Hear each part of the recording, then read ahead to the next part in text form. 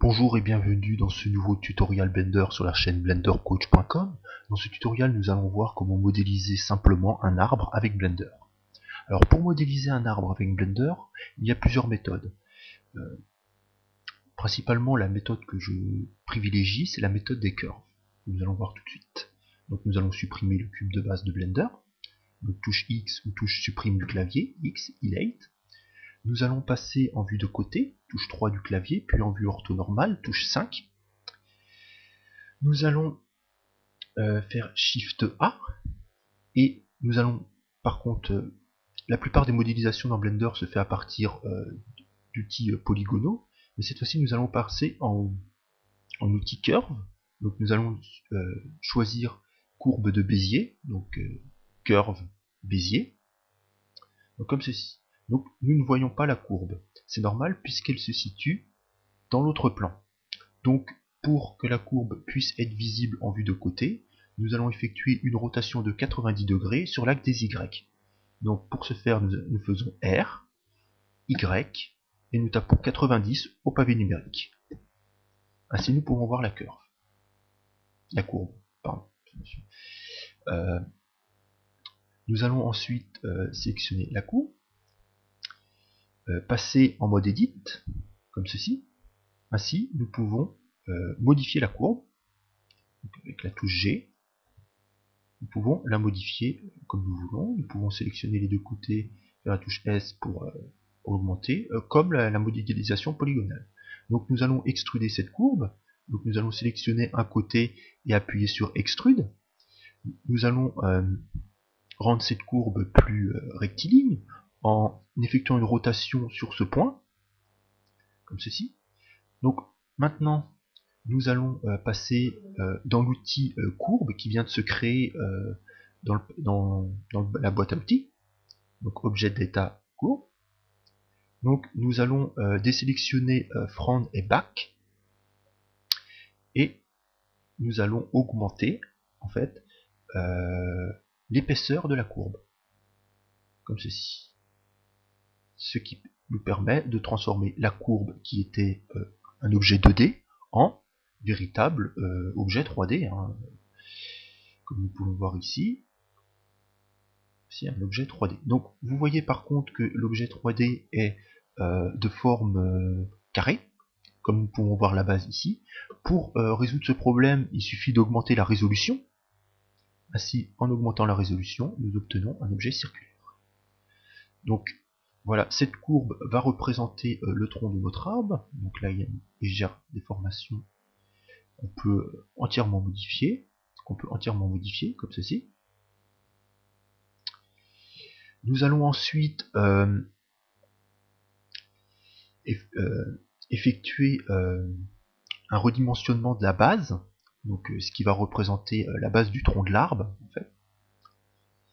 Donc pour effectuer un redimensionnement euh, si nous appuyons sur la touche S, cela redimensionne uniquement le point sur lequel on est et donc augmente euh, le sens de rotation quand on effectue une rotation ou le déplacement quand on effectue un déplacement. Donc pour euh, augmenter en fait la, la base de cette courbe, il faut appuyer sur, il faut contraindre la touche S à justement l'augmentation de la courbe en faisant Alt S. Alt S, et ainsi, en éloignant le pointeur de la souris de la courbe, nous augmentons la base de l'objet. Donc ici, bien sûr, la base est euh, très peu naturelle, puisque je n'ai pas créé euh, suffisamment de points. Donc, pour régler ceci, nous allons euh, déplacer ce point vers le bas. Celui-ci aussi nous allons effectuer une nouvelle extrusion et réduire quelque peu ici le, redimensionnement, effectuer un redimensionnement au niveau de cette base là et au niveau de celle-ci.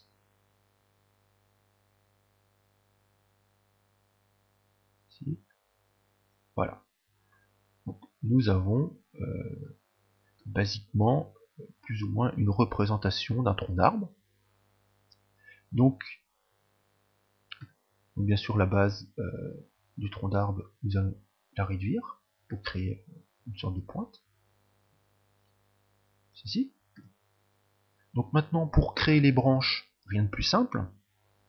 Il suffit de repasser en mode Edit, de euh, sélectionner euh, un segment de l'arbre, par exemple celui-ci, de faire Shift D pour faire une copie,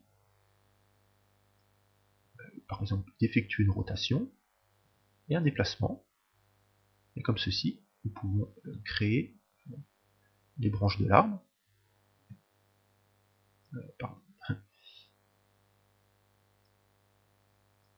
On crée une deuxième branche. Shift D. Shift D. Donc ici, je vais effectuer un nouveau dimensionnement. Donc Alt S. Ici, Donc c'est assez basique en fait, c'est assez simple. Et effectuer une rotation et créer une deuxième branche